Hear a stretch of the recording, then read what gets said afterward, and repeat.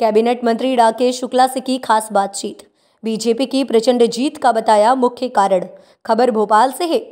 आज फास्ट समाचार की टीम भोपाल में नवनियुक्त कैबिनेट मंत्री राकेश शुक्ला से मिले।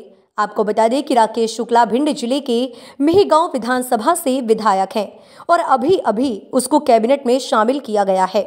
इसी सिलसिले में हमारे संवाददाता ने बात की है जिसमें उन्होंने बताया मंत्रिमंडल के विभागों के बंटवारे के बारे में साथ ही साथ बीजेपी की प्रचंड जीत का मुख्य कारण भी बताया एवं ये भी बताया कि आने वाले पाँच सालों में एमपी की स्थिति क्या होगी। जी सर सबसे पहले तो बहुत बहुत बधाइयाँ आपको सर कैबिनेट मंत्री आप बन गए हैं सर। क्या लगता है सर कौन सा विभाग आपको मिलने वाला है और कब तक पोर्टफोलियो का बंटवारा हो जाएगा सर? जी हमें पता ही नहीं है कि कौन सा विभाग मिलने वाला है। फिर भी सर उम्मीद और कब तक है ये भी नहीं मालूम। जो नेतृत्व का जो काम है वो नेतृत्व से पूछो। जी। हाँ।